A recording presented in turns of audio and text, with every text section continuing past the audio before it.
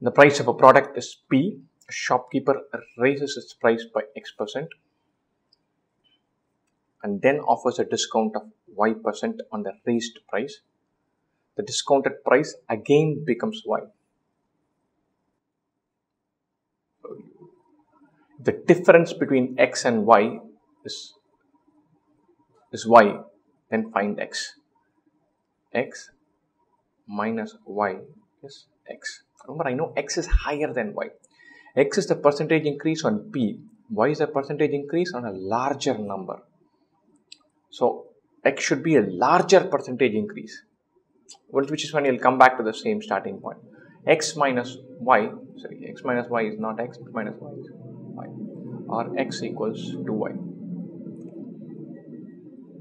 Or from P, we increase something by 2y to get to mark price. Remember when I'm writing it as 2y, I'm not saying 1 plus 2 into 25, 1 plus 2 into 25 by 100. I'm thinking of it in percentage terms. Now back to the selling price, that is mark price into 1 minus y.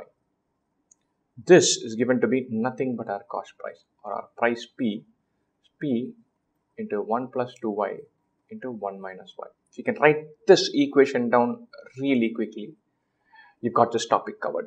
This entire topic is going to be about how quickly I can get to writing this equation. 1 plus 2y into 1 minus y should be equal to 1. Right?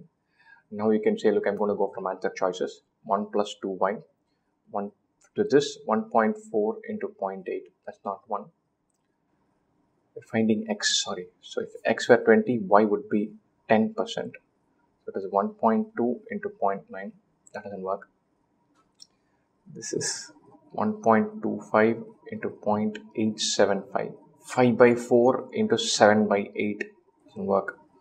1.5 into 0.75 that's not 1 2 into 0.5 that is 1 I'm just substituting different values. 2 into 0.5 is 1. So x is 1 and y is 0.5. So 1 plus 2 into 0.5 into 1 minus 0.5. So 1 plus 1, 2 into 0.5, that is 1. That works. X could be 100. X could be 100%, Y is 50%. You increase the price by 100% and give a 50% discount, you're back at the same price.